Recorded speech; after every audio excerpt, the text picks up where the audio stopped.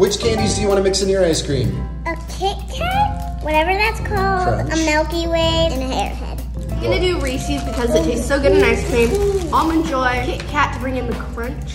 Dork because I like it Some- tastes so good. Peppermint in there. I went with Reese's Peanut Butter Cup, M&M's, and Kit Kat. Good job with those Skittles. Is that an airhead? Yeah. Getting the Pixy Stix. This is such a fruity one. Fruity Chaos. Isaac's is chunky. Mine is chocolate caramel crunch. Ooh, that airhead. Mm, there's Smarties on there. It brings like a tartness, which is super yummy. So That's like ice. Some of the things, when frozen, will break your teeth. Chocolate's wonders because they put in so much chocolate. I'm eating coconut and caramel. And fruity. It's amazing.